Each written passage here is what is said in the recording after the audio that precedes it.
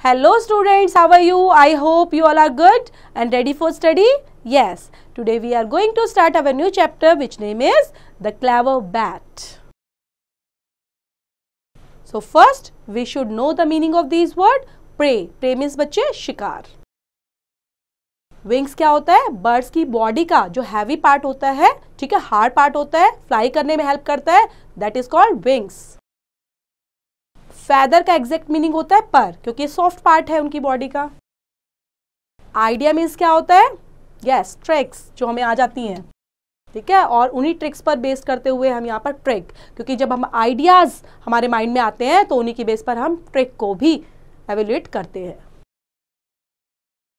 So let's begin have you seen a bat It flies and catches its prey at night. You can see it flying and turning around in the air after the sunset. It has a strange body. Its main body is like a mouse, but it always has wings but without feather. In some parts of the world, bats are also eaten as food. It is said that the corona disease is spread from eating the bats. Let us tell you a story about a bat. तो यहाँ पर जो story start होती है तो start हो रही है बच्चे किससे? आपके क्वेश्चन से। तो क्या कभी आपने बैट को देखा है? बैट मीन्स होता है चमगादड़। ठीक है? चमगादड़ को बैट बोलते हैं। तो क्या कर सकता है? वो फ्लाइज कर सकता है कैचेस कर सकता है अपने प्रे को, अपने शिकार को एट नाइट में, क्योंकि वो रात को देख सकता है। ओके फ्लाई कर सकता है turning around in the air after the sunsets ठीक है? सनसेट के बाद वो इधर उधर घूम सकता है। ये इसकी जो बॉडी है, काफ़ी स्ट्रेंज होती है। Then main body is like a mouse कैसी लगती है? वो माउस जैसी लगती है। उसके जो विंग्स होते हैं विदाउट फैदर होते हैं। ठीक है? और तभी भी वो उड़ पाता है। Some part of the world bat are also eaten as food तो बहुत सारी जगह पे ऐसे हैं, बहुत सारे वर्ल्ड में बच्चे, बहुत सारी कंट्री इस तरह की है जो बैट को खाती हैं अपना खाना समझकर। Then it is said the corona disease is spread from eating the bats और ये भी सुनने में आता है कि जो कोरोना डिसीज है, वो स्प्रेड कहाँ से हुई थी? वो बैट के खाने से ही हुई थी, क्योंकि बैट को खाने से ही कोरोना के जो इन्फेक्शन थे, जो वायरस था, वो हमारी बॉडी के अंदर आ चुका था।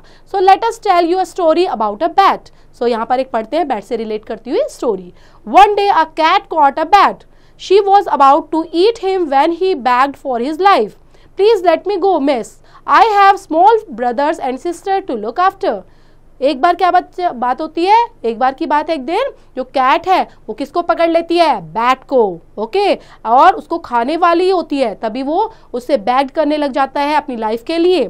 देन बोलता है प्लीज़ लेट मी गो मुझे जाने दो मेज क्योंकि मेरे छोटे छोटे बहन भाई हैं और मुझे उनका ध्यान रखना है।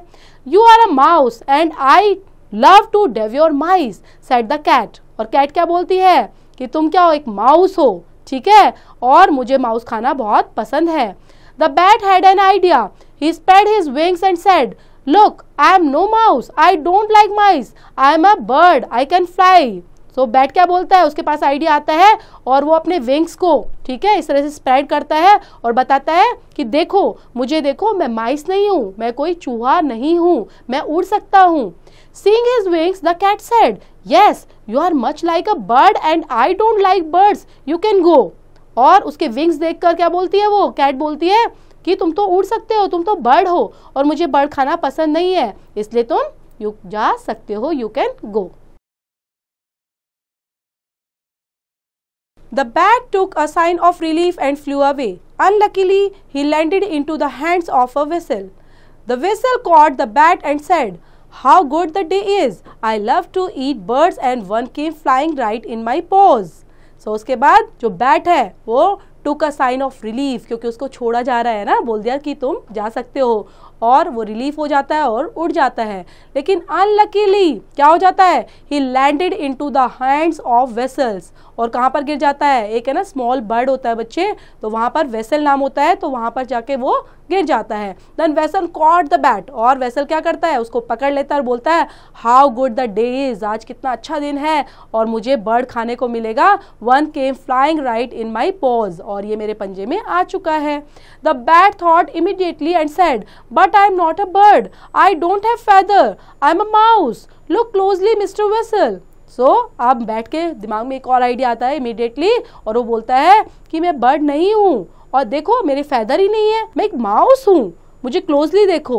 Then mister weasel the weasel left him and said I hate mice they smell bad you can go the clever bat saved his life twice he adopted tricks which were suitable to the situation he faced अब weasel क्या करता है? जैसे उसको देखता है और बोलता है कि मैं तो क्या बड़ी नहीं हूँ, मेरे फैदर ही नहीं है। तो ये सारी बात सुनकर वो बोलता है आई हेट माइस मुझे चूहे नहीं पसंद है। मुझे उनकी स्मेल ही पसंद नहीं है। बहुत गंदी लगती है, इसलिए तुम जा सकते हो। जो क्लेवर बैट था, उसने दो बार अपनी लाइफ को सेव किया और अडॉप्ट की ट्रिक्स है ना? अलग अलग ट्रिक्स के ज़रिए अपनी लाइफ को बचा लिया और डिफरेंट सिचुएशन में जो सुटेबल थी, जो उसने फेस की थी, उससे अपने आप को सेव करा।